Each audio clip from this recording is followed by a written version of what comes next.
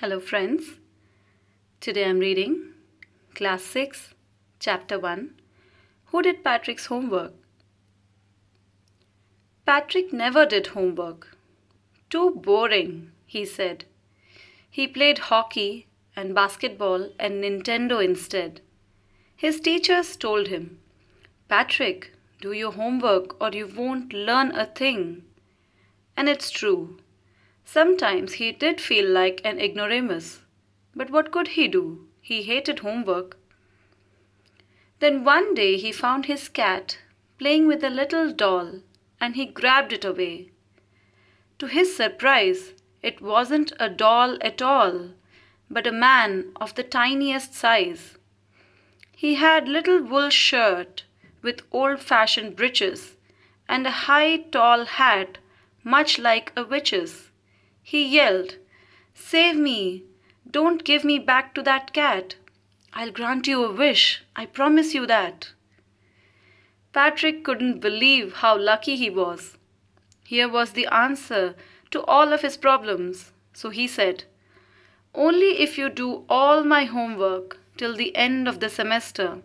That's 35 days. If you do a good enough job, I could even get A's. The little man's face wrinkled like a dishcloth thrown in the hamper.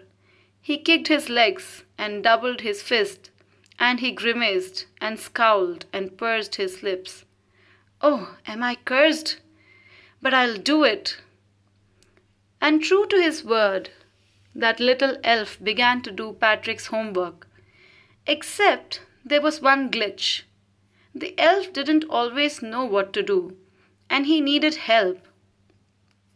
Help me, help me, he'd say, and Patrick would have to help in whatever way.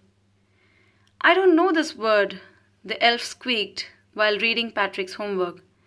Get me a dictionary. No, what's even better? Look up the word and sound it out by each letter. When it came to maths, Patrick was out of luck. What are times tables? the elf shrieked. We elves never need that and addition and subtraction and division and fractions? Here, sit down beside me. You simply must guide me. Elves know nothing of human history. To them, it's a mystery. So the little elf, already a shouter, just got louder. Go to the library. I need books. More and more books. And you can help me read them too. As a matter of fact, every day in, every way, that little elf was a nag. Patrick was working harder than ever.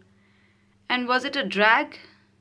He was staying up nights, had never felt so weary, was going to school with his eyes puffed and bleary. Finally, the last day of school arrived and the elf was free to go. As for homework, there was no more so he quietly and slyly slipped out the back door. Patrick got his A's. His classmates were amazed. His teachers smiled and were full of praise. And his parents, they wondered what had happened to Patrick. He was now the model kid, cleaned his room, did his chores, was cheerful, never rude, like he had developed a whole new attitude. You see, in the end, Patrick still thought he'd made the tiny man do all his homework. But I'll share a secret just between you and me. It wasn't the elf. Patrick had done it himself. By Carol Moore.